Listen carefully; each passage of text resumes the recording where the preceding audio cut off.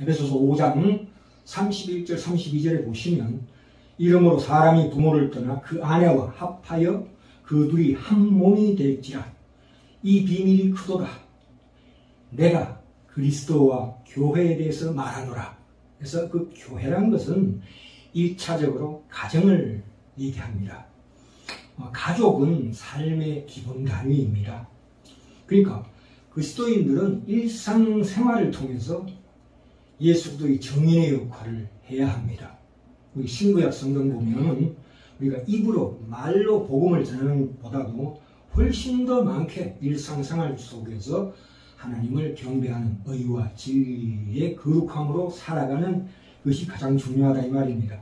그러니까 남자고 여자고 그 사람 등을 판단할 수 있는 그 장소가 어디냐? 가정인데 사람의 진정한 성품을 알 수 있는 곳이 바로 가정이다 이 말입니다. 그러니까 내가 나의 개인 생활에 그 하나님의 원리대로 지켜지지 않는 그런 삶을 살면서 그러니까 가정은 혼돈 상태에 있으면서 국가나 어, 세계의 그 상황을 논하는 것은 무의미하고 공허한 메아리에 불과하다 이 말입니다. 자 그러면 첫 번째로 예, 이 고난이라는 것은 무엇인가에 대해서 한번 따져보고자 합니다. 이 고난은 특별히 외부로부터 오는 고난이 있을 수 있습니다.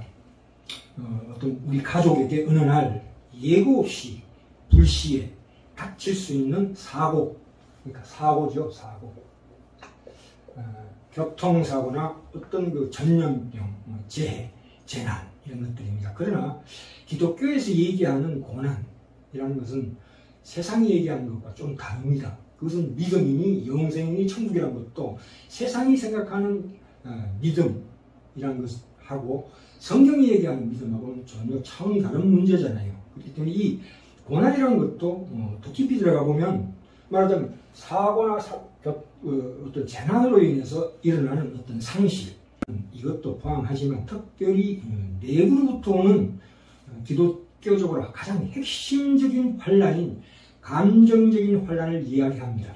그것은 뭐냐? 특별히 이제 예, 물론 여기에 파생된 우울, 그 슬픔도 포함되지만 우울, 우울, 그 다음에 예, 어떤 불안, 자살 충동, 강박관념, 감정 조절 장애, 뭐 중독 이런 거죠. 특별히 우리는 이 수, 우울증이라는 게 그 수치심, 수치심이 이 수치심이 동반되는 것이 우울증이거든요.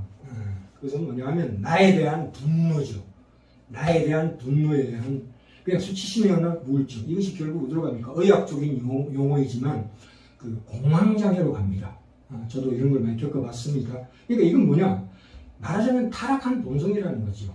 그러니까 우리 속에 다스려지지 않는 음, 타락한 본성 자체가 고난이다. 이렇게 이해하시면 될 것 같아요. 아, 네. 다시 한번 말씀드립니다. 우리 속에 처리되지 않는, 예, 절제되지 않는 그 타락한 본성, 다스려지지 않는 본성 자체가 고난이라고 생각하면 아, 네. 됩니다. 그러니까 이 본성이라는 것은 말하자면 본성이라는 것은 예, 이게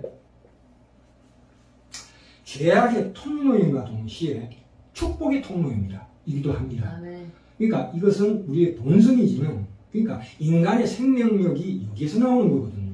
하나님의 형상을 닮은 비록 타락되었지만 그 속에 하나님 형상이 살아있는 거거든요. 우리가 예수로 말미암아 구원받았을 때 하나님께서 거기에다가 우리의 나쁜 성격의 어떤 기질, 개, 배의 방향을 조절하는 키를 달아주는 거와 똑같아요.